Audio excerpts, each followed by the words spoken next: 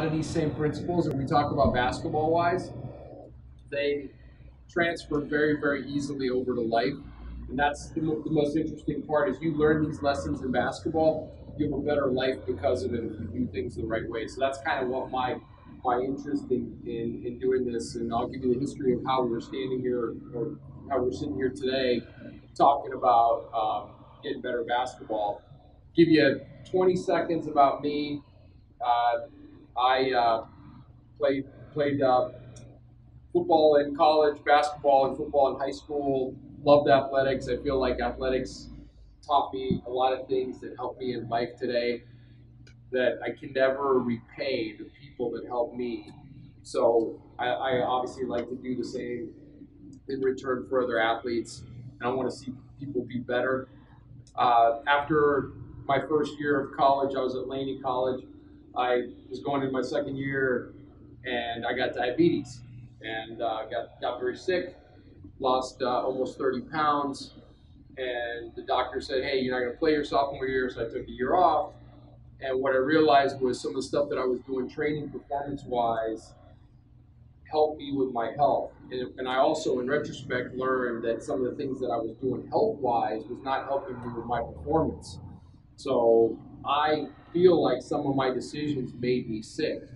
And so my one of, one of my whys for doing this is I don't want any of you guys to make and, and ladies to make the same mistakes that I made. Hopefully you guys can do a better job, make better decisions than I did, so that you can learn from some of the mistakes and you can prevent that cycle of making the same mistake over and over again. Uh, after uh, after Laney, I wound up going to Davis and I wound up going to law school. So I became a lawyer. I practiced law for 12 years. My passion has always been strength and conditioning, health and performance. I've always been interested in how to make humans better through different hacks. So after practicing law for over a decade, um, I was lucky enough that my wife was willing to hire me at her gym, and now I get to work for for a reasonably good boss. uh, we got a couple of our coaches. Deanna's here, um, and Talia's interning with uh, with us as well. She's a uh, strength coach at SI. And again, you know, for for you guys, if I can impart a little bit of a little bit of knowledge, a little bit of, of saving you spinning your wheels, that that would make uh, you know that would make my make my night.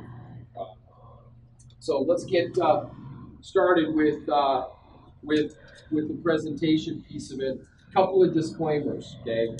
Before uh, I tell you anything, you know you better than I know you. So if let's say I say drink more water, and you know that that's not a good idea for you because somebody told you otherwise, then please don't do that because you ultimately are the boss of you and you, you're going to control yourself. And you're going to make the decisions for yourself. Um, and then anything that I tell you today, I reserve the right to change my mind tomorrow. I'm not married to anything. I'm just married to the better way. So if you got the better way, I'm doing it your way. I don't I, my way. Throw it in the garbage can. And um, pretty informal. If there's something that you guys want to ask but don't want to ask in a group, obviously you can ask me. Uh, Robbie is also one of our coaches. Sorry to introduce her. That's uh, my wife, Robbie. And uh, she also does all the nutrition stuff here. She's a wealth of knowledge in, in that department. We're going to talk a little bit about that tonight as well, and she can kind of dig deeper in if you guys have any like more detailed questions that I can't answer. Uh, if you don't want to ask questions informally, you can interrupt me at any time. I will answer any question. If I don't know the answer to the question, I will tell you, hey, I don't know the answer. I'll go figure out what the best way to do it is, and I'll come back to you and I'll ask the right people and dig under the right uh, under the right uh, uh, stones to make sure that you guys get the get the right answers. We also are lucky enough to have uh, Dr. Chris Thompson, who's a kinesiology professor up at USF. Uh, Chris is also a wealth of knowledge in the performance uh, arena as well. So we've got some great folks in the house. Um, if you want to put questions up onto the parking lot that you don't want to ask, just write a topic, and I'm happy to speak on it, or just come see one of us, uh, you know, informally afterwards, and we'll answer any questions. So let's get let's get going.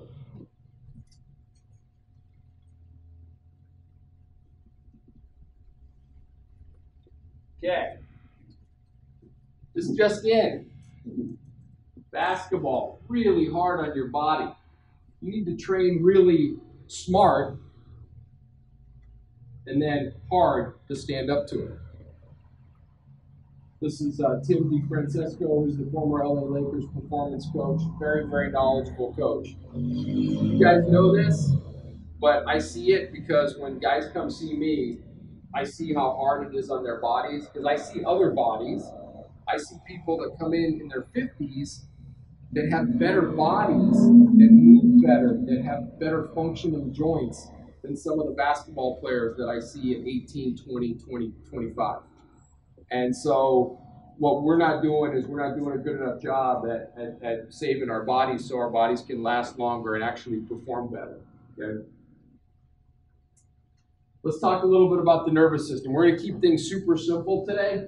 Here's what happens you got this nervous system. You can run high on the red, okay? You can run low. If you run too low, you're probably not playing basketball because basketball is a stressful event all the time. If you're running too high and you run the car too fast, something usually breaks. This nervous system is connected to something else, and that's your chemistry. The better you manage the nervous system, the better the chemistry will be. And what I mean by that is anybody know Barry Bonds? He used to go down to see a guy by the name of Victor Conte because he wanted more chemistry, because he wanted to have better performance. Now, I'm not suggesting that you guys should go see Vic, Victor Conte, but I think that it, you have to understand the decisions that you make on this on this nervous system part impact the chemistry over here and how your performance will be. I don't want to dig any deeper into this. It's a very complicated subject. This is as simple as I can make it, but you guys have to understand and own this part of it. How to be better. Your number one ability as an athlete is your availability. If you're not available, I don't care about your crossover dribble, your 28 point, uh, 28 foot three point shot, your uh, alley oop dunk. It doesn't matter because when uh, Coach Carl was telling me, oh, the Pro Am team's going to win next year, and Tutu's sitting on the bench, don't matter because he's not available. So I don't care how good he is. Once you're available, then I care about your ability. We're going to talk about performance training, but performance without availability is worthless. Couple, couple of uh, common traits of success what I did in trying to help you guys is talk to my friends who train pros. Guys at the Wizards, guys at the Warriors, guy former Philadelphia 76ers strength coach, guy at the at AS Roma who, who trained uh, soccer players at German national team. And I, am asking these guys, hey, what what do you see that are the, the guys that are elite? What are they doing? Well, here's what they're doing. They understand that quality is way, way more important than than than um, than quantity. And what I mean by this, when we talked about the nervous system, we're talking about how, hey, I'm riding this high. And what I see with most basketball players is their nervous system's too sympathetic. It's too high. They're, they're redlining their bodies too much. They don't know how to bring their body down so that it can, that can withstand more stress. They're always running it at, at the top end. So real pros understand how to practice quality instead of practicing all day long.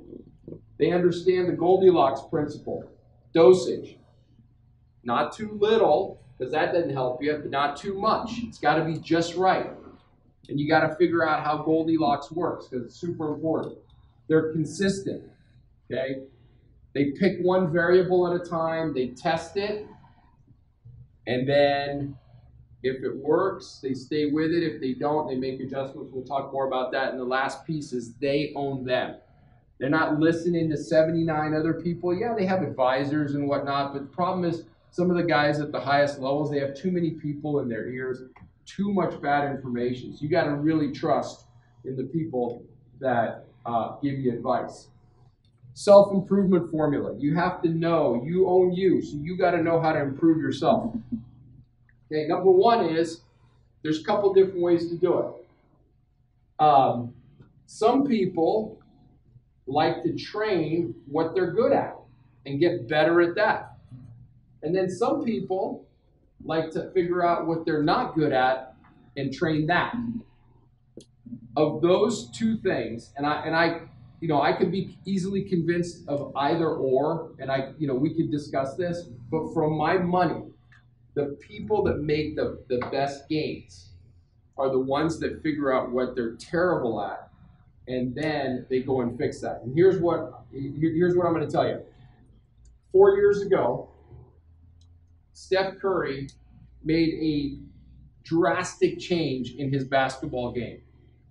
What did he do what was his number one weakness? And what did he do to fix it? Anybody know? His ankles, right? So he wasn't available. He played 44 games four years ago. So as a result, for the 44 games, he got a $44 million contract for four years, $11 million. Now, the best guys in the business are making a, over over double that. Uh, so, th- so they got Steph on the cheap. And what he did to fix his ankles, that's a another interesting thing. And if you guys want to know about it, I can give you an article about it. But long story short is he got his hips stronger. He had surgery on his ankles. They have a formula that works now. They, you know, and I know the, the, the strength coach at, at, Santa Cruz, they were trying to figure out what the what the missing link, the, the weak link was in his uh, in his uh, in his program. So they fixed that. So here's an here's a great example of your greatest ability is your availability. He made himself available. So now all of a sudden we can talk about some other things. Then what happened is they came up with a strategy, and the strategy was, okay, I'm going to have ankle surgery. I'm going to brace my ankles. I'm going to get my hips strong, my, my core strong. That guy, Coach Nick, great to see you. I made a Nick, I made a uh, made a. hey, great to have you in the house. Period. It's a game I would have been on time. yeah. so they came up with a strategy. They executed the strategy. He's played uh, 81, 81, 80 and I think 81 again. So long story short is the strategy is is working, right? Uh, he, he did miss some games in the playoffs last year, but long story short is way better than 44 games. He executed the strategy. That's the third piece. And then what happened was is they measured. Hey, is this working?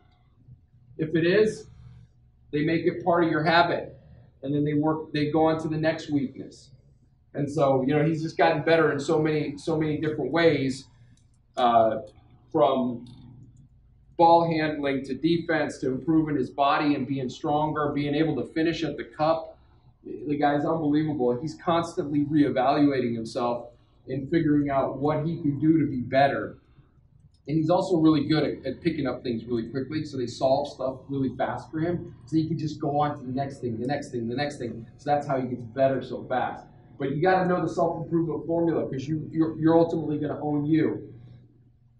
This is the performance pyramid. This is something I came up with because I sat down with Coach Carl about a year ago and I found that I couldn't explain to him what I do. like, ah, you know, I do this and I do that, and I uh, can't couldn't explain it to him. Uh, so I said, okay, cool. I'm going to put it down on paper. And I'm going to be able to show guys that this is what we do to make you better. Okay? So take my take me as an example. Got sick, unhealthy, unavailable, can't play. What happens is, is most guys they're up here and they practice skills and they they do the skills all day long. But if you're not healthy down here, or let's say you're healthy, but your performance is is is uh, needs needs help. You're not strong enough. You're out there playing against your, you know, against air, and you're amazing. You get in the game, and it's a ghost. You don't see yourself in the game because you can't express your skills against other humans because you're too slow, too uh, too weak, and you have great skills. Because I see kids, you know, like on the smaller side, a little skinnier side, or they don't they don't have um, certain physical traits to be able to express their skills, and you can see that. So this is how you build the athlete. You build the athlete from the ground up, and if you have this as your foundation, we're going to talk about this. Then we're going to talk about performance. Then we're going to talk about skill. Because if you put the roof of the house on first, Coach Nick will tell you that ain't going to work. He builds houses. He'll tell you that's not going to work. Okay? So, just real quick at the bottom, we're going to go through some of these independently, and I'm happy to share this with you guys. But at, on the bottom, there's breathing, is the first thing. Okay? Breathing is incredibly important. It's so important, and it's never coached at most levels. Breathing is the number one thing you do when you come into this world. It's the last thing you do when you leave. And if you don't know how to manage your breath for health and performance, you're really missing the boat because what's happening is for every step that you take, your car's running at a high RPM. You're at a you're a red line in that sucker. So you have to know when you come off the court, what's your breathing strategy? When you're on the court, what's your breathing strategy? When when you're at, at on the free throw line and guys are taking a free throw, what's your breathing strategy? Beyond before you even get to that, you have to understand that there's a certain type of breathing that is healthier for basketball players, for most humans, but especially for basketball players to manage their nervous system. So that's all I'll say on that for right now. Nutrition. Incredibly, incredibly important. If you don't have your lifestyle together, uh, don't expect the car to run and run the Ferrari hard if you're not putting good fuel in that sucker. So we're going to talk about hydration.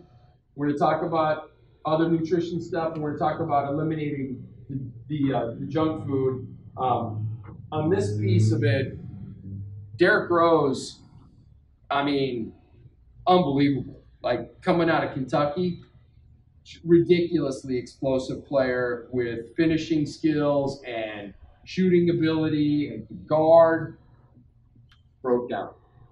Why? So comes out after the fact. So we're going to talk about injuries, but um, comes out after the fact that he had a big time sugar habit, and sugar weakens your tissues, the white stuff, the connective tissue, the muscles. So he's super explosive, and God gave him all this ability, but he can't harness it because he's putting bad fuel in his system. And uh, I can't show you a cause and effect, but I can tell you that it didn't help him to eat the sugar that, at, at the quantities that he was eating it at. Okay, sugar is poison for athletes. Uh, if I could get guys to eliminate it, I would, but we'll, we'll talk about a reasonableness rule. So here's hydration. How much should you drink? Uh, what are guidelines for hydration? Anybody have any ideas?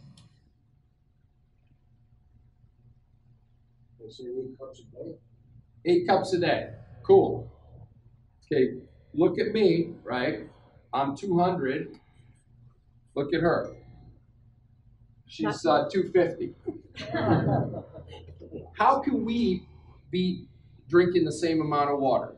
That's most absurd thing that I've ever heard. And, and you know, that's what's being promulgated to, to, to, to us is so there's a lot of factors involved. How hot is it outside? How hard did I train? How big am I? Where do I live in this world?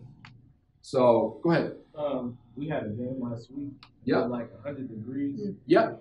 And I had drunk like, I swear, I drank like 13 water bottles and I still was dehydrated. And I ended up throwing up and just had the water. Yep.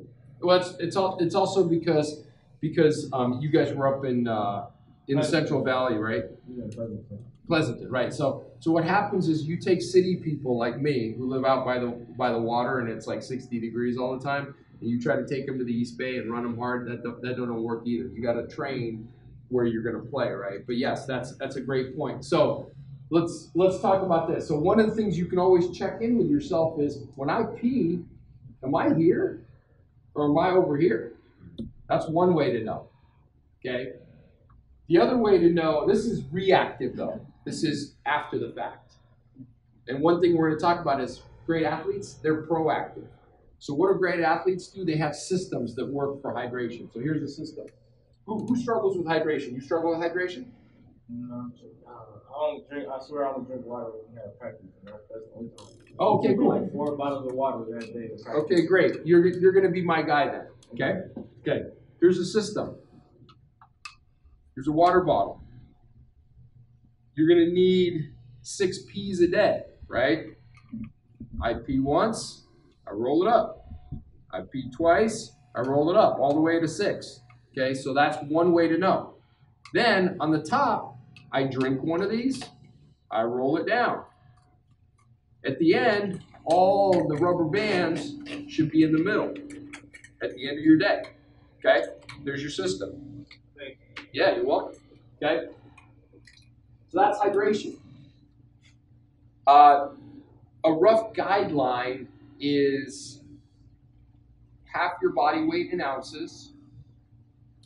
Rough, don't don't. 'cause I got I got I got better better numbers for you guys. I'm gonna give you something, but a rough guideline for normal humans, not basketball players, half your body weight in ounces without exercise, without taking into account sweating. A rough guideline. And again, it doesn't work for everybody, so that's why I, I hate those like eight cup rules, half half your body weight in ounces. Okay, this is my friend Steve Harvey. You guys ever met him? Uh, Family Feud. The most difficult aspect of being an athlete is 550 athletes surveyed. What's the number one answer? Anybody? No? Getting, Nope. getting enough sleep. Nope. Getting injured. Go. Dealing with injury. Number one answer, 42%. It's hard. It's hard mentally, it's hard physically. And uh, we're going to talk about we're going to talk about injury and pain because it's super important and it's on the minds of a lot of people in this room. When you don't sleep 8 hours a night, you increase your likelihood of injury by 1.7 times. So that's big. That's a big factor. So put that out there for you. When you get hurt, this is what happens to your body. Your red tissue looks like this. You get hurt, it gets torn up. And then what happens is if you don't rehab it right, you limit the car's ability to get to as good a place as it can be. So what happens is it heals like this and it doesn't return to this. But if you rehab it right, it comes back like this and it can actually even be better and stronger than before. And that is the goal. And every one of you guys, if it's one thing that you learned today, understand that that pain and injury it's just it's just information if you don't if you if you uh, if you do something about it. But it's bad information if you don't if you don't listen to your body. So let's talk about injury and pain. What's the number one chris don't answer the question. What's the number one predictor of injury? Swelling. Okay. Try again. Let's get let's get a different one. What no don't answer the question. What's the number one predictor? I'm a gm okay? I'm thinking am i going to sign steph curry? Man that guy's broke down. Okay? Am i going to sign him? 44 games? Come on. What i don't need a guy for 44 games. What's the number one predictor? Whether you've been injured in the past. Right. The number one predictor of future injury is prior injury. Once you get hurt once, you're more likely to get hurt again unless you identify that as your weakness and come up with a strategy to remedy it. Pain is your body's way of telling you something. That's your body's way of talking to you. Okay? I once tried to explain to a CrossFit girl, I was doing a presentation, that pain is important and you should listen to it. And she says, Well, I only have pain when I do this. I go, Well, maybe you shouldn't do that until you figure out why your body's giving you pain in that position. She said, Well, I really like doing that. I said, Okay, cool. I said, You have a you have a boyfriend? She goes, Yeah. I said, Look, let's say my wife says to me, We got a problem in our marriage, right? And then I leave the house. I can't hear her. Problem's gone, right? No, the problem is still there. So you got to listen to pain. You got to ask yourself, what's it doing? Okay. The next thing is inflammation. So Isaac mentioned swelling, inflammation. Yes, sir. Um, I sprained my ankle like uh, beginning of the preseason. Like some some dude said on my ankle. I was uh, playing with an ankle brace the rest of the season, then I took it off when we did workouts at Skyline. Okay, cool. You know what? Let me let me pause and take you back to this right here.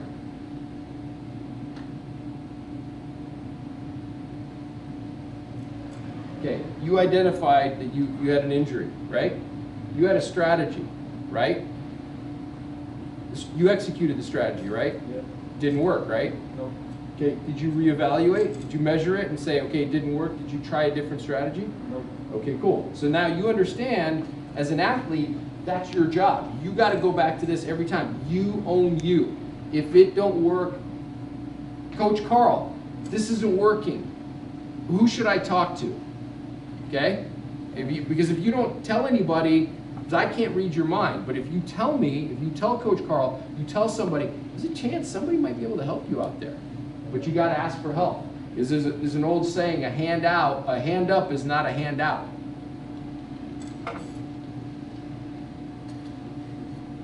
So let's get back to this pain, inflammation. Inflammation in this country is some sort of a taboo. It's a bad word.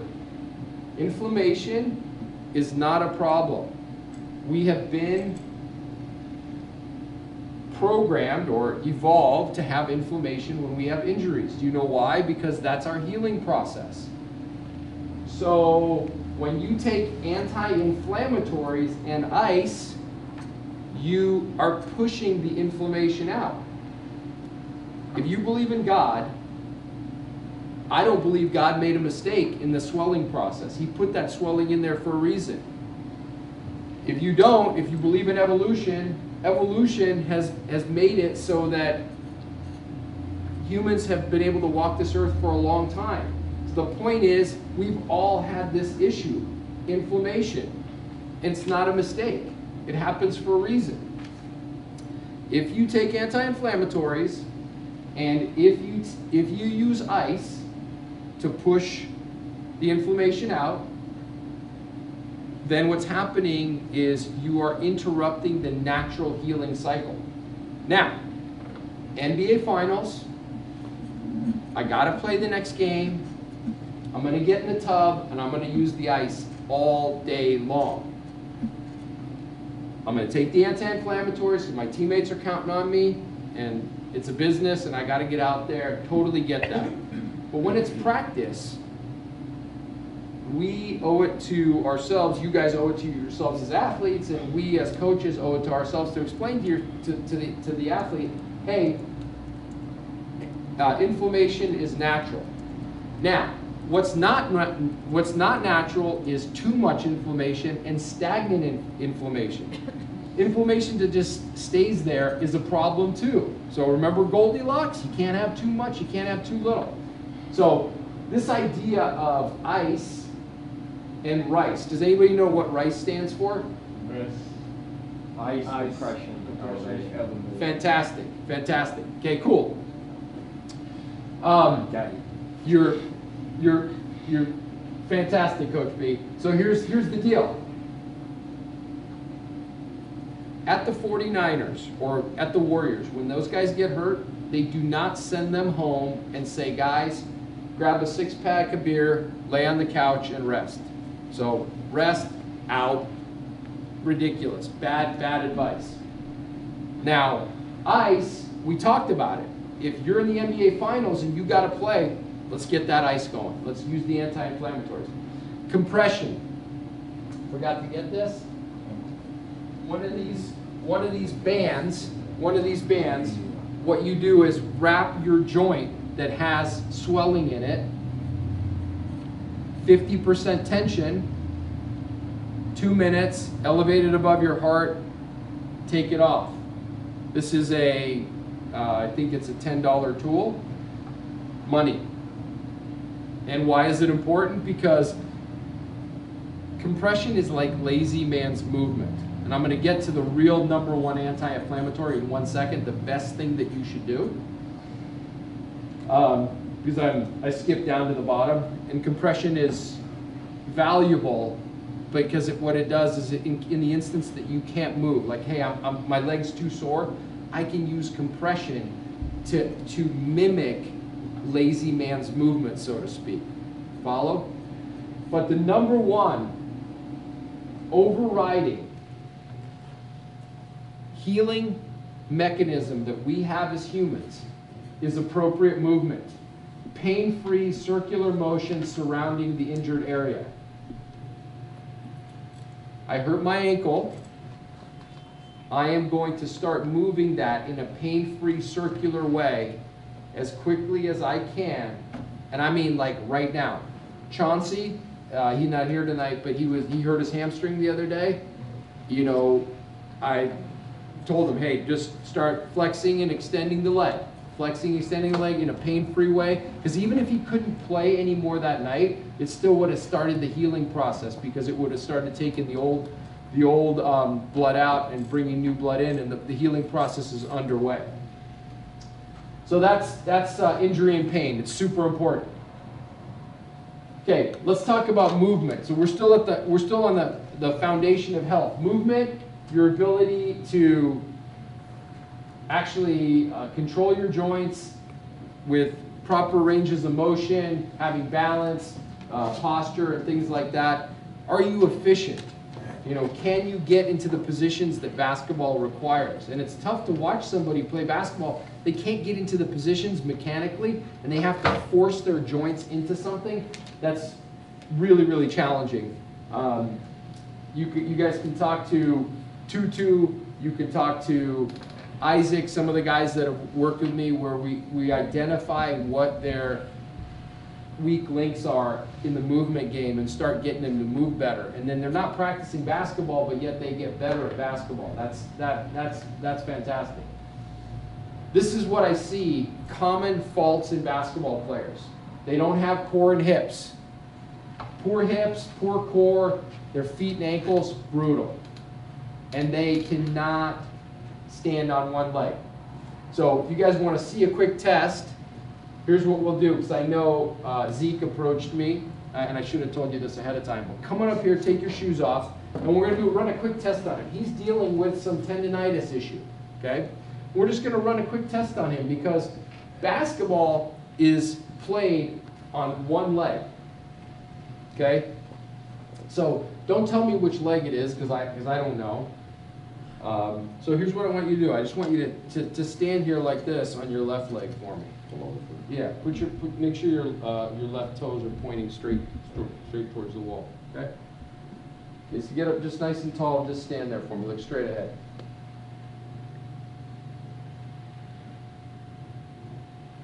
Cool, can you close your eyes for me? Okay, that was five seconds with the eyes closed. Cool? Okay, let's see the right leg now. Okay, make the right leg, right leg straight. You look straight ahead. Just, just stand there. Don't, don't close your eyes. Just stand.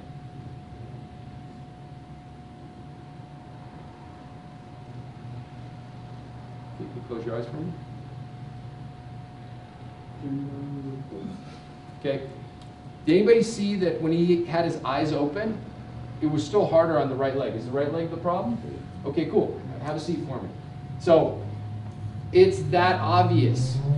This guy is, he's got two wheels, right? On this side of the car, the tires are pumped up. On this side, they're not. But then he's still driving. I saw him play on Monday night. He's still driving the car hard. I wouldn't drive that car hard right now because all you're doing is, is, is creating that asymmetry and that's a problem. Basketball is played on one leg. You're either on one leg or both legs are up in the air. There's no two leg to this.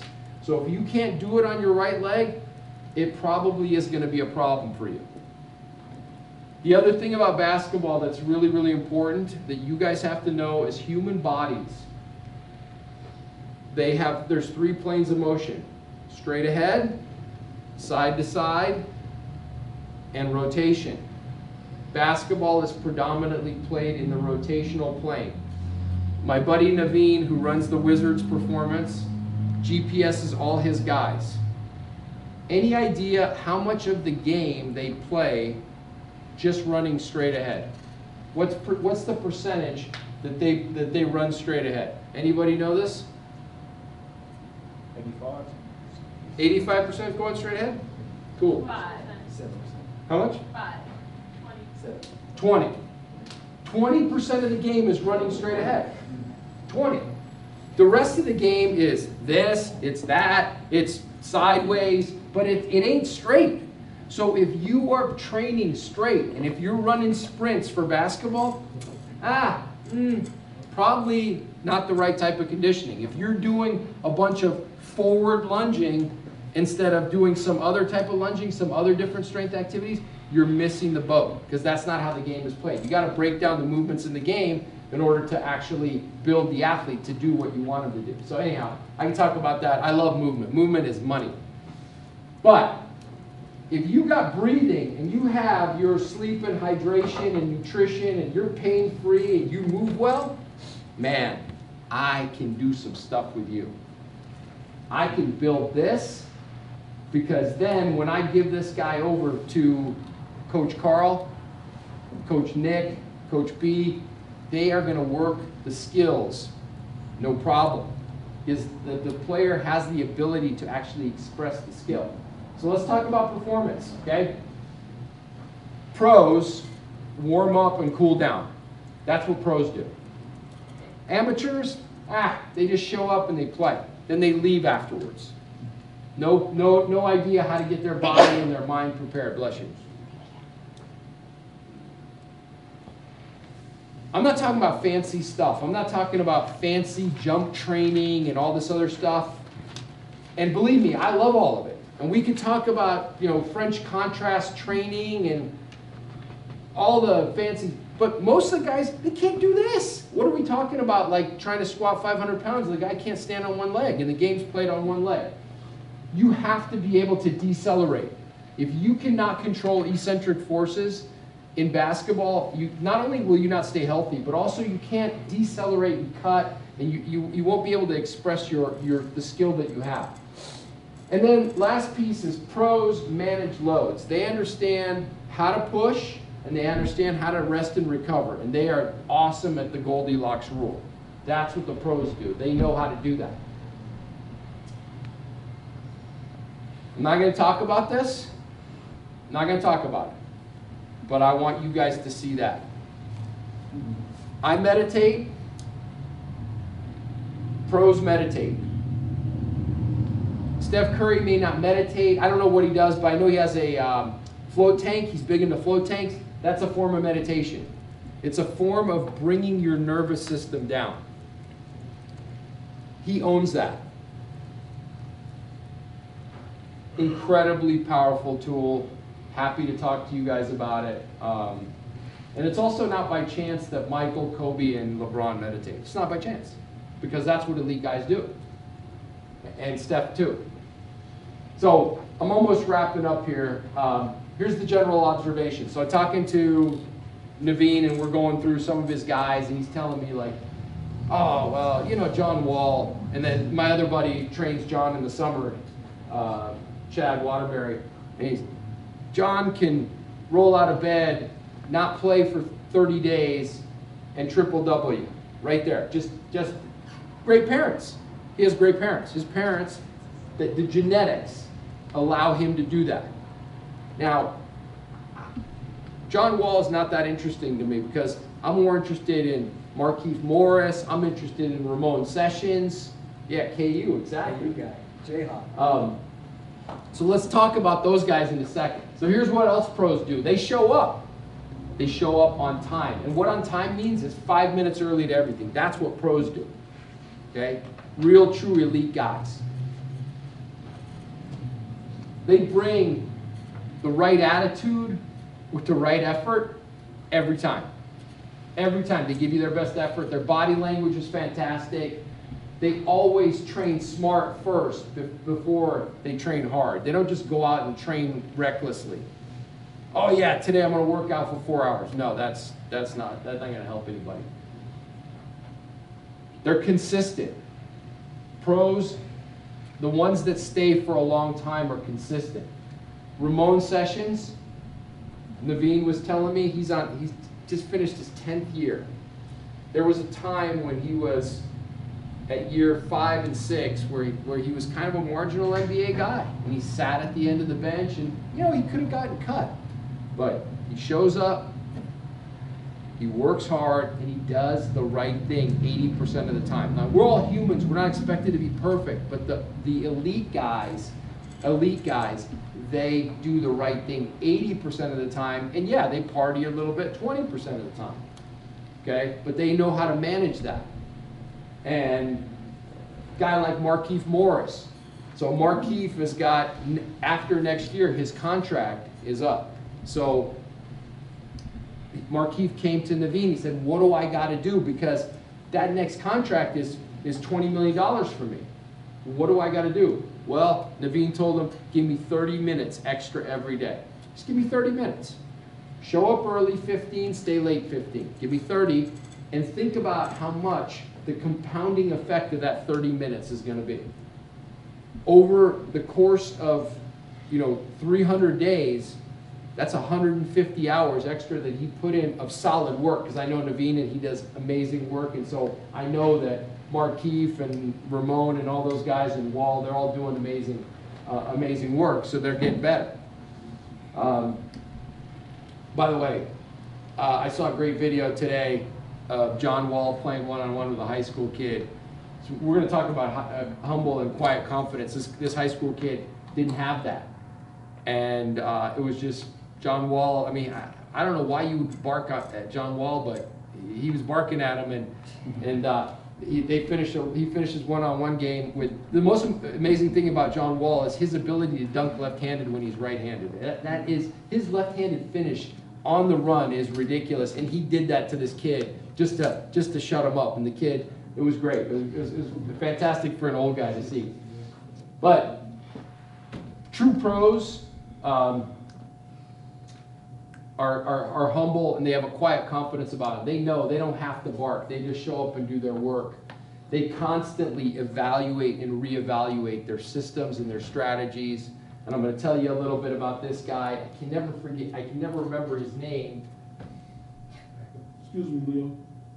Yes. Say that statement again. I don't know if Mikhail and Devontae, that's Devontae. These right there. What the humble part? Say it again. It's it's important. It, it, because because here's the part about well here's the part about the, the, the humility piece that's really important is because there's this thing called the likability factor. And I talked to Tutu about this. Everybody's got a likability factor. People either like you or you don't. And if people don't like you, they're not willing to go the extra mile for you. And I'll tell you what, when Tutu was hurt, and, and I had a, and I had a wife and kids at home and a business, I got my butt here every day and I spent the time to get it right because I wanted to see him get healthy because I didn't want him to go to school and have have his knee hurt again. So he's got that likability factor and you guys can control that by being humble and quiet and having that uh, that that that uh, humble, uh, quiet confidence about yourself. Um, this is what the other, uh, so this guy right here, uh, Edin Dzeko is his name. He's the number one goal scorer in UEFA. So my buddy uh, Darcy works with him. Last year, had a bad year. Goals weren't going in. And uh, so this guy, you know, played the entire year out. He reevaluated every one of his systems in the offseason. Guess how many systems he changed? He, oh, by the way, I should preface this because he was the number two goal, goal, goal scorer two years ago. not even in the top guys. Two uh, la or so three years ago he was number two. Two years ago, didn't score many goals, and then this year he became the number one goal scorer in, in, in Europe. Again, so thi- this is like elite level competition, best soccer players in the world. How many systems does he change when he goes falls out of the top scorers to become number one? How many systems do you think he changed? He changed none, not one. He reevaluated every system. He said, "Hey, I'm doing this. I've already played eight years. I'm doing all these things. I know these systems work." He went back and watched all the film. Darcy said that he just had some bad luck, man. It's like he shoots the ball and, and here's the post and the ball wouldn't wouldn't go in. So he reevaluates every single one of his systems, says, hey, I'm going to stay the course. I know what I'm doing is right because it's, it's worked for eight years. Number one goal scorer in, in, uh, in UEFA. So you said, so you thought all, so is that what most people, most athletes do? They, they reevaluate, they, they have the, to change everything? the real pros, they, they, they constantly evaluate and reevaluate. So they're always asking themselves, can I do this better? Is this system working for me? And so they, they use coaches and they, you know, he had, he had the, the, the soccer trainers and then he looked at his performance staff, they looked at all his physical therapy stuff and they said, hey, look, we're not gonna change a thing. And clearly it wasn't the systems, I'm gonna trust in my team, uh, in the people that are support me and my teammates and boom, then he has the results that he's looking for, yeah. Likewise, though, if, um, my guess is, if Darcy and his team had sat down Yeah. with this athlete and said, this is what is different about this year, they would have made changes. This is, it's an anomaly that, that they didn't find anything, and they just said, it was just, it was just a raw deal this year. But I would say, I don't know what the percentage is, nine times out of ten, five times out of ten, they probably, when they are evaluating and reevaluating, they find something, and then they can work on that. So, not to say that uh, well, elite, uh, elite level athletes reevaluate and never find anything, because I think more often than not, there is something that's gone wrong, whether it's an injury thing like Leo's been talking about, or a nutrition thing, or so they had a new baby and they're not sleeping as much, whatever that thing is, they would probably reevaluate. This guy happened to have, you know, everything was just, Yeah, 'cause I okay. thought that's interesting, I don't think. Yeah. you know, if They, you know, something's not working, I gotta change everything. You have to run it through a reasonable lens. You gotta run it through that system. Identify what's not working. That makes sense. The, what wasn't working, his weakness was the result, not what he was doing. He just, the ball wasn't going in the basket sometimes, you know that. Right. Just doesn't go in sometimes. But, but the process that he was using, it, it already been proven to work, uh, eight years. So he, go ahead. Like, ahead. we talking about pro athletes who's already been there, they, like you said, he already. Right, exactly, exactly. Now we're talking about, say, young guys like, like Yep. Mikhail, his thing, he's developing still. Yep. So now, in that having, I told him, like, his thing is patience, it's gonna come. You gotta have that patience when you first starting out, you know, so, so when you go early on, start reevaluating, sometimes that, is that too early, sometimes, you know, I'm not having to assess because. We gotta I- make those- I haven't gotta- been doing it long enough. Yeah, we gotta, we, you know, you have to do it for a reasonable period of time and then measure it. You have to come up with a measure, like a performance indicator, like, you know, let's say, let's say Mikhail, um, he's trying to improve his three-point shot from the, uh, from the top of the, from the top of the arc, right, straight onto the basket. So what you do is you have him work on that shot and then you measure it. Okay, Mikhail, I'm gonna give you, I'm gonna give you hundred tries, right? So we're gonna give you hundred tries, we get our number. So let's say the number for the, for the hundred tries is he hits twenty of them, okay? Good. Okay, so then, so then what happens is you guys come up with a strategy and Mikhail goes for six weeks and he executes that strategy. Let's say he's got to shoot uh, for 10 minutes three times a day from that same spot, right? Then what happens is you come back and remeasure. And if the number went from 20 to 25 or 30 to 35, keep doing that strategy. But if, if the number stayed the same, then maybe your strategy is not, not right.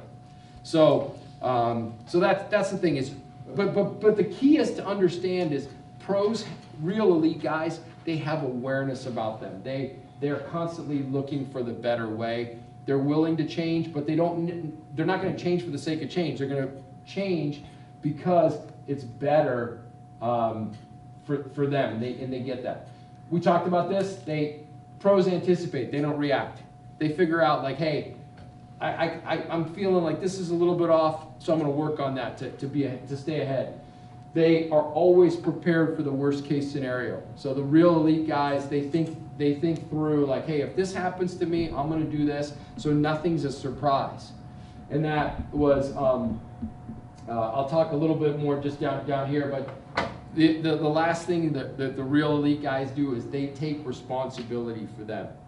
They, hey, you know, even if it's not their fault, they just say, they own it and then they work on it and they work it through and they take the pressure off the, the, the other players in their, in their system. It's, it's an incredible thing, but those, those elite leaders, elite guys, that's what they do. They also have a people strategy, and this is important because how you treat others, and this gets back to the likability factor. Like Damian Lillard, man, that guy, his likability factor is so high, incredibly high. People just like him. Why? Because he's always doing the right thing. So they, they lost in the playoffs. He took the playoff money that the entire team, and he got his teammates together. He said, guys, we're going to take all our money, whatever it was, like $30,000 per, per teammate.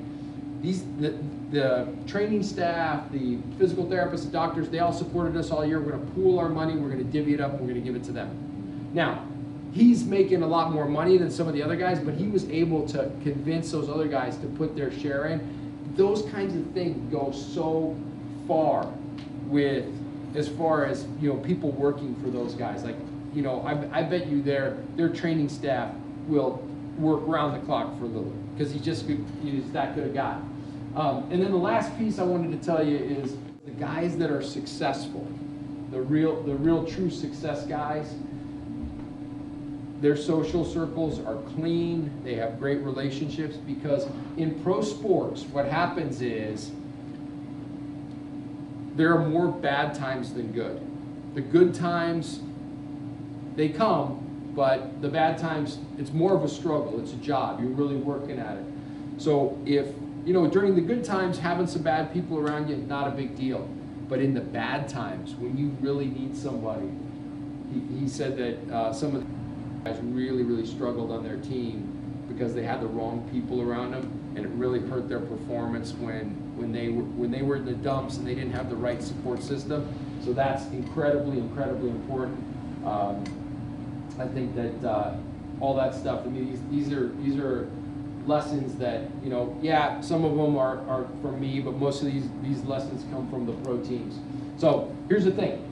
This is your choice. You keep doing the same thing and expect different results, which is the definition of um, of insanity, or you can pick one thing, you strategize, you execute, you reevaluate, and you repeat. And so I'll leave you with this one thing. So real quick, these things that I'm passing out, it's a great way for you guys to execute simple strategies just to get yourself healthier. Little extra sleep, little extra exercise intensity. Um, so if you look at the bottom and, and then the hydration piece, uh, the, the yellow is the goals. For exercise intensity, the reason why it's four is because that's where your average should be. Because you guys are playing playing basketball hard. Yeah, there are going to be some days where you're going to push harder in the gym and you're going to get a five, but then there's going to be other days where you go three. And you average to four. You have to know how to do that. You can't just redline the car all the time. Okay, so that's for you guys. Happy to answer any questions. That's it.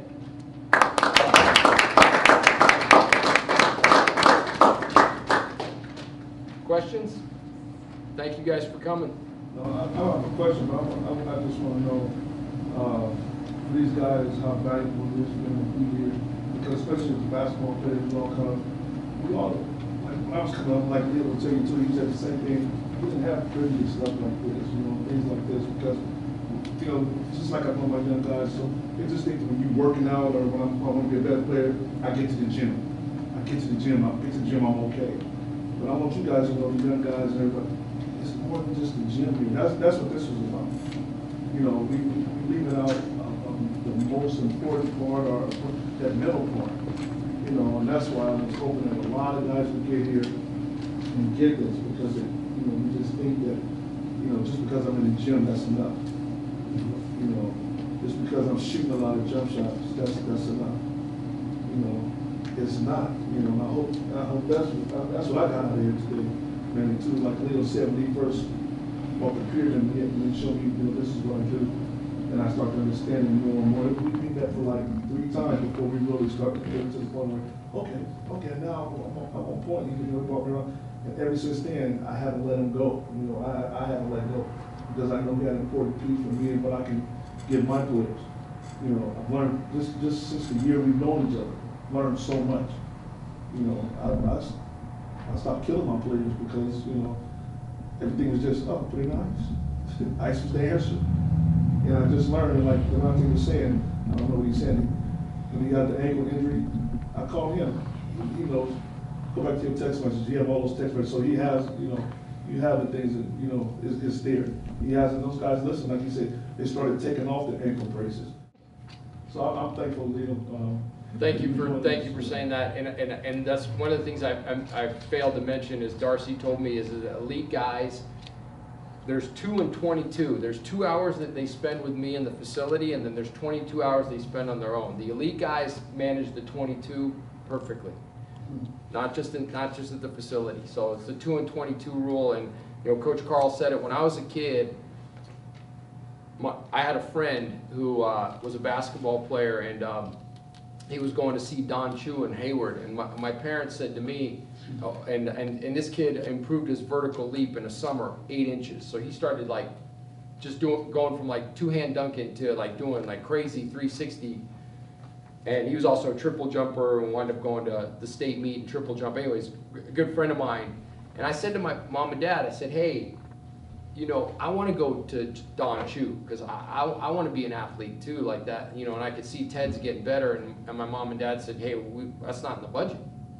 And so, for me, part of it is is I would listen to anybody. I would listen to anybody just to try to be better. Any, I mean, man, I, I can't even tell you some of the that I've done.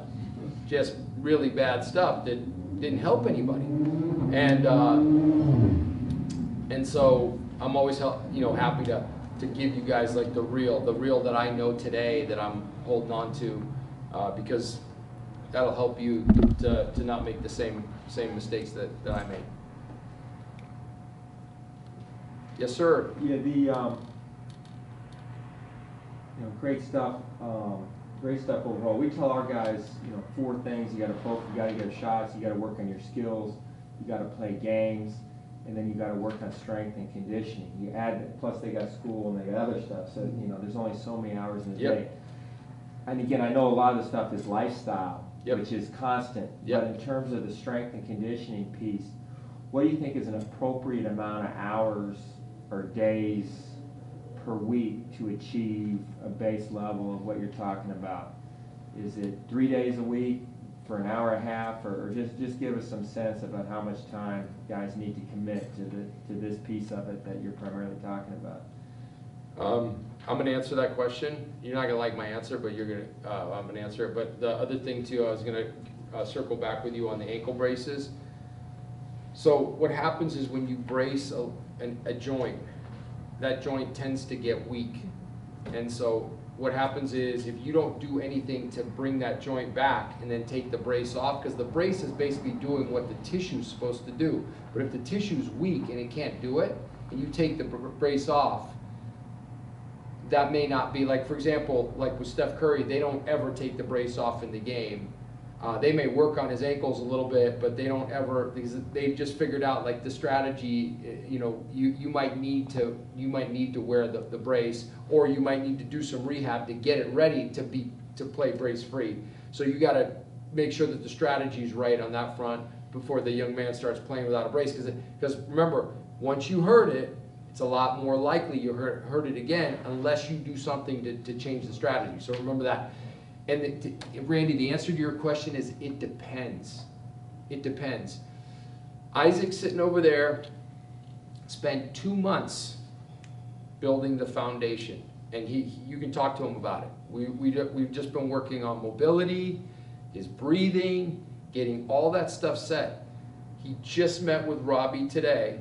We're just gonna put in a uh, nutrition program which is going to enable us to start doing some of the performance training. So the reason why it depends is because each one of your guys is gonna have different needs. Some guys gonna be like way ahead of where, where Isaac started, some guys will be worse. So you gotta meet them where they are, and you can't cookie cutter an approach. And this is, this is the other thing, at the, at the, at the Wizards, John Wall's getting his, Ramon Sessions getting his, and they're different. And Markieff Morris is getting his, and Bradley Beal's getting his. Everything is, and that, that's, that's what we do here, is we figure out what you can't do, and then we do, we help you do that, because we, somebody's gotta identify the weakness. Zeke didn't know his right leg was blown out, he said, he just knew his right knee is painful. He, he, he doesn't know, he doesn't know how to test for that. Kids don't know, they don't know where they're deficient. So, the answer to your question is it depends. For some kids, not that much time. For a lot, for other kids, you can ask Isaac how, how much and how hard he works to get, to, to make his body function for him so that when, when Coach B says, Isaac, do this, he's like, okay, cool, I can do that. And that's, that's the truth. There is no cookie cutter answer for that. Like Randy and I, high school coaches, and, you know, we talk about general, uh, just like across the board, so. Well, if, if- I mean, it's, it's what you can allocate to it, right? I mean, if, I promise you that if you said, hey, look, I can allocate thirty minutes twice a week or thirty minutes three times a week, and that's all you can do, then you, you can get a lot of good work done in that time, and you just get as much as you can. You know, there's always, it's like, it's like basketball. High quality work, more, more high quality work, more times than not is, is, is gonna be better. Uh, But it has to be high quality work and you have to make sure you're not overstressing the kids. So there's this component of, I, I hate to answer it this way, but, you know, this is, this, it, it depends.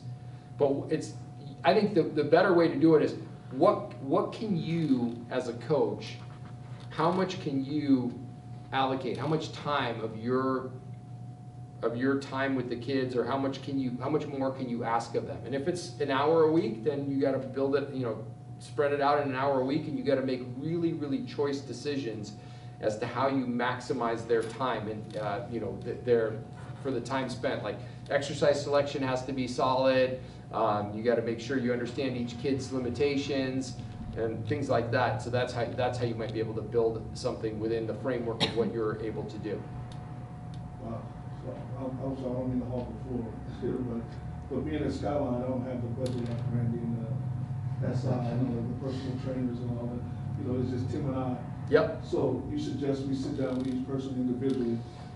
and- I think what, I think what you do in that case is you come up with a five, I don't know, three, five, four exercise routine that are, uh, that are, um, would, would address some of the issues that the players have and, and implement that. So you learn the Turkish getup, you learn uh, rotational lunging, you learn single leg reaches, some fundamental exercises, you learn how to do a push-up, you do, how- you learn, learn how to do, a- or, or train the pull-ups, like five exercises that are really global exercises that would help, um, you know, I I sit here and say three to five, eh, no, because, because I'm, I, I know it's a little bit more than that, but anyways, you narrow it down and then you just have them do that.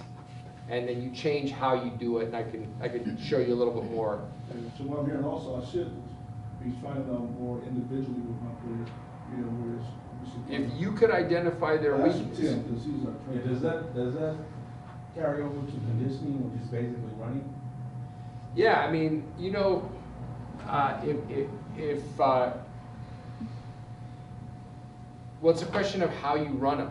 You know, do you, are you, are you running them straight ahead? Right? So, so like, that's, that we could maybe do a little bit better. Look, it's, everybody's about, everybody's about better. We're all here to learn, right? So like, I, I picked this up because I had the opportunity to talk to my, my buddy Naveen, who has the GPS coordinates on the, on the players. Now, I didn't know basketball was not a linear game. I mean, I, I did, but I didn't know it was twenty percent linear. That's, that blew my mind. So, um, so it's a question of, you, you can also condition humans without running them. Because, Um, like, for example, you know battle ropes, you ever seen battle ropes? That's a great way to condition people, and then you can save their legs a little bit, but you still work on their cardiovascular system. So there's all these kinds of things that you can, you can think about, um, that, that, that you make little tweaks, and everything's about just being a little bit more efficient, a little bit more efficient. But if you said to me, hey, this is how much time I have, then I could help you exercise select, conditioning uh, drills select, things like that, that, that can, that can um, have your, your, your guys be better. Yes, sir. Um, you talk about better anti-inflammatory, I know when I'm up at Lewis Clark and my legs are really sore, I just like jump in the ice bath. So Yep. what would be a better solution than just icing all my joints? Um, so one of the things is like some gentle, uh, some, like riding a bike gently. That will, because what that does is that cycles, uh, the blood out. If you need to use an anti-inflammatory, one thing you might want to consider is using a natural one, which is like a turmeric. Turmeric with hot water and black pepper, it doesn't taste great, but it works. Um, so that's, uh, that's something to consider, and then, and then, uh, so you come off the floor, you're done playing, maybe get on a bike or get in, get into, you guys have a pool, or no access, I tell you, I see you have, a good night. You have a pool? Yeah, you get in the pool, you have those uh, waistbands, so you, you basically unload it, and then what you do is you just, you run in water for fifteen minutes as a cool down, and that will help you, uh, with the joints being stiff and, see, remember we talked about pros warm up and cool down? High school, college guys, they don't, they just leave the floor and then they're done, and then, so what happens is, because every time you train, as soon as you're done, you're getting ready to train again. So you, so I'm, I left the floor and I'm foam rolling. I'm, that's another thing you can do. You can foam roll. Uh, you can get in, in the pool, get on the bike, do some light recovery, uh, flushing your system, starting in with the nutrition right away. You know, having having uh, protein, having maybe some before you get on the court, immediately after, timing of nutrition. I mean, it gets very, very complicated, I- and I, I don't, I don't want to get too far afield, but Draymond Green just uh, in March hired a, a nu- nutrition um, team, and he's got a he's got a nutritionist and a cook. So the nutritionist tells the cook what to do, and then they they create the meals with the right amount of nutrients and the right timing. And the, and the right timing. So, I mean, you know, we don't have that option, like, I, you gotta do it for yourself, so you gotta come up with your own strategies as to how to do that. But those are some, some ways to, to limit the, the inflammation. But also figuring out, like, yeah, of course your legs are gonna be sore. You're, you're, you're running around on a tire that's half full. It's not gonna work. You gotta get the, because then what happens is that right leg, whatever the issue is in there, if you solve that up, when you solve that up, when you solve that up, then perhaps you won't be as sore. Yes, sir. Uh, see, I, I wanna hear from Isaac, you say you've been working with you for a couple of months. Couple, two and a half months, two months. I just want to hear from him, tell us about some changes or. Can, can I just say, but before, before, he- before he, before we talk, I- you know, I don't wanna, like, I don't, I don't want this to come off the wrong way, because I don't say this about everybody. I- If, if Isaac didn't have this guy in his life named Joshua, who's the yoga instructor, I don't know how he could have played. I, I, I look at his body, and I, and I think it's a, it's a minor miracle that he played two years of basketball with that body. Uh-huh. And he's, he's, he's good at what, you know, but man, I'm telling you, there's like, there's potential in there. And, you know, starting every game with your knee bugging you, I mean, what kind of way is that to play? Mm-hmm. It, that's just too hard. So you like, you like, you know, it's like starting two strikes in the count. But, yeah, go ahead, Isaac. It's like ever since like I don't know, like, even, even after sophomore year, when I hurt my ankle, when I didn't rehab right, that Leo and I found out was terrible later on. Like I would, I would have knee pains like in my left knee, like whenever I played, you know, like whenever I warm up. You know, there'd be good days where I wouldn't feel it as much, and there'd be times like where adrenaline would kick in, like I wouldn't feel it.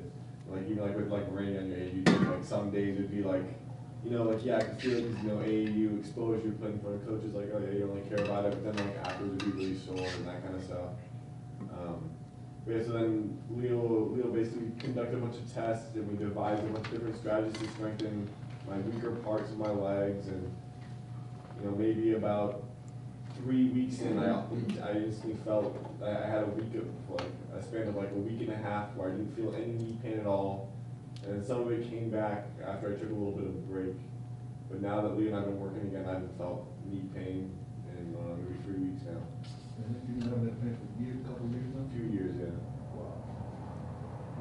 And it's like the, the mobility and flexibility have like always been a problem with me and you know found a way to fix a lot of that stuff and what I think is like a reasonable reasonable amount of time. And, and he's the perfect example of his nervous system. Guy was like up here, just so his body was just it, it was tight because it was protecting him from himself, from what he was doing to it. So the body just locked down as a protective mechanism, and it's just easier when you can like move. You know, if you can't move, there's no way to play this game. You can't play this game without without being able to move. So what's some of the movement you're doing now that you weren't doing before? What are the things you're doing now? You know, doing- just from an outsider, like I, I watch a lot of humans move. I watch them move in football, I watch them move in basketball, and I watch humans move all day long in here, all day long. And you, you can ask the folks that I work with, like I just, I just want, ooh, that, you know. Humans are, we're, we are wired uh, to see strength and weakness in movement, right? Like we can gauge other humans because uh, I, I believe this is because when we were hunter, hunters and gatherers, we would be able to figure out where, who the weak one in the herd was, so we could get that, right? Or we would see who the strong one is, so we could survive and stay away from that one. So we know the, the ends are real good.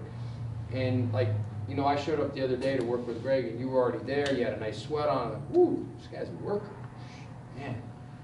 So then you gotta ask yourself, the Goldilocks, you know, then I see the videos of you on Facebook and you're working with this guy and that guy, it's like, you know, sometimes less is more. And you might be the guy that is violating the Goldilocks principle by too much. So one of the things that for someone like you, yeah, if there's a lot, if you're putting a lot of pressure on yourself, that's no way to play, you know. And I, and, I, I wasn't sure I, I, I hadn't seen enough of your game, but when I saw you play the other day, like you hit that first three, and then you you you, you missed the next two two or three, and I felt like I felt like the your body language was different, you know. Um, and I know you've been working on your shot. You told me that, so I'm trying to put the pieces together a little bit. So if you're putting a lot of pressure on yourself, and you you know, there's there's another piece to this whole thing that I didn't talk about that's on that pyramid, is is the mental imagery, and then for you, maybe your answer is is some sort of you know mindfulness practice that would help you uh, to to to calm you know to calm yourself because if you're not sleeping and you're working as hard as you do, and believe me, I, I was impressed by your, your work ethic because I was like, whoa, then, then something else is amiss, right? And you, if you think you could get better, then maybe the, the answer is less instead of more. Um, so I don't, I don't know, but it's some, something that you got to dig into. Measure, you know, strategize, execute, remeasure, see if, see if you're better. You know, put some strategy in play.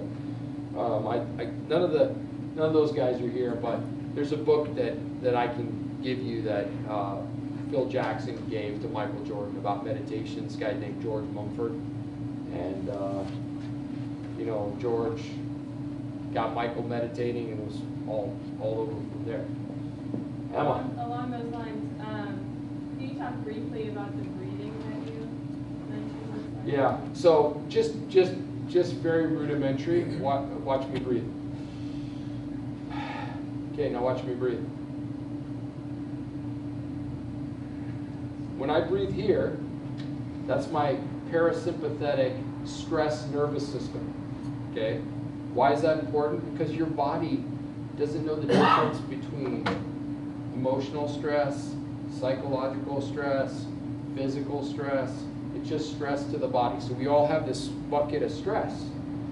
And then if you breathe down here five times. Harvard study, five breaths into the belly, nasal breaths. Expand the belly, belly down here. Just breathe like your lungs are down here. Five breaths is enough to change your nervous system, to calm you down five times. Okay? Now, if you, you know, there's meditation can 20 minutes, it could be, so five breaths is like, you know, let's say it's 30, 30 seconds, right? So, first of all, most humans don't know how they're breathing because all the humans that come through our door, we always check. We're like, how's he, how, I, I say, hey, if I didn't tell you, I'd say, hey, Emma, show me a nice deep breath. And you would show me, you, you would show me your breath, and then I'd go, oh, I know a little bit about Emma now because more than likely, don't, don't take this the wrong way, more than likely you're going to read like this. So then I would say, oh, she's got, you know, she's, her body doesn't know how to fluctuate. Now maybe it's me, maybe I'm the one that's giving you the stress, and I try to figure that out.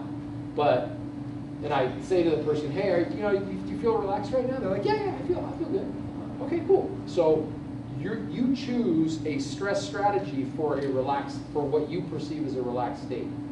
So that's just the owning your breath from a nervous system health perspective.